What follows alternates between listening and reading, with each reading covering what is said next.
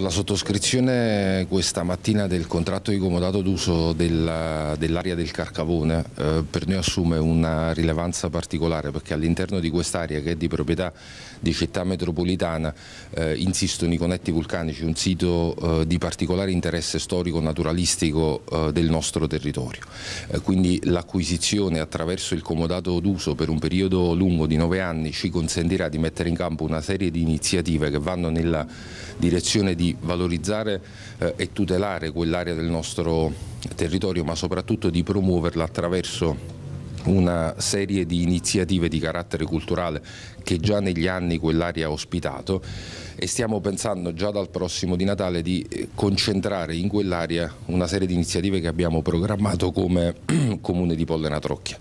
Poi eh, certamente contiamo di eh, avvalerci anche della collaborazione di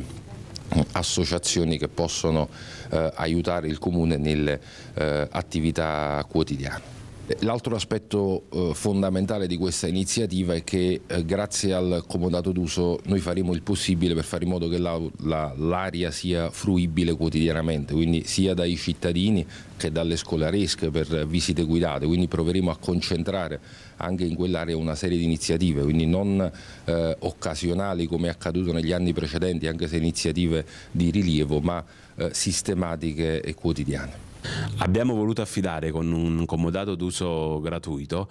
la località Carcavone al comune di Pollena e al suo bravo sindaco nella persona dell'avvocato Francesco Pinto, perché siamo sicuri che saprà valorizzare al massimo il bene e quindi questo è un altro passo importante verso il nostro obiettivo che è quello della valorizzazione e della tutela del patrimonio della città metropolitana di Napoli. Quando le sinergie positive si, si incontrano si riesce sempre a portare dei risultati ai territori.